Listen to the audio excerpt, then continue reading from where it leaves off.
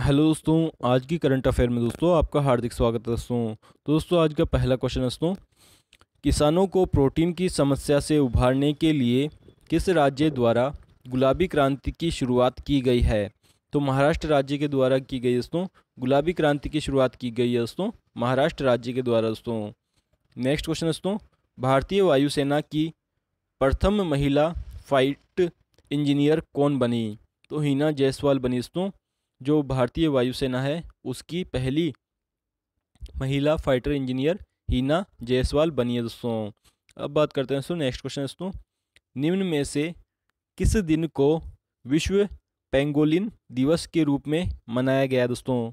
तो 16 फरवरी को बनाया गया दोस्तों, विश्व पेंगोलिन दिवस के रूप में।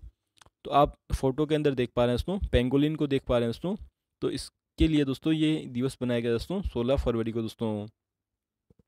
नेक्स्ट क्वेश्चन दोस्तों हाल ही जी एस वन भारत ने सरकारी ई मार्केट प्लेस के साथ समझौता हस्ताक्षर किया है।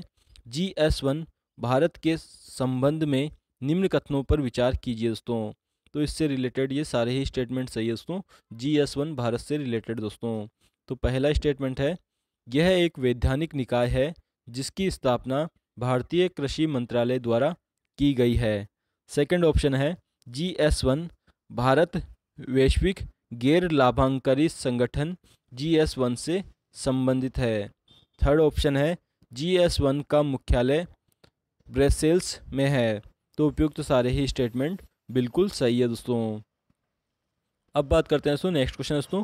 गुवाहाटी में आयोजित तयासी वी सीनियर राष्ट्रीय बैडमिंटन चैंपियनशिप महिला एकल का खिताब किसने जीता है?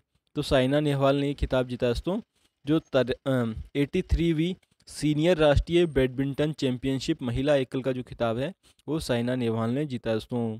अगर दोस्तों आज के करंट अफेयर का वीडियो पसंद आया दोस्तों तो प्लीज़ चैनल को सब्सक्राइब कीजिए दोस्तों और इस वीडियो को फेसबुक और व्हाट्सअप अकाउंट के माध्यम से अपने दोस्तों को भी ज़रूर ज़रूर शेयर कीजिए दोस्तों।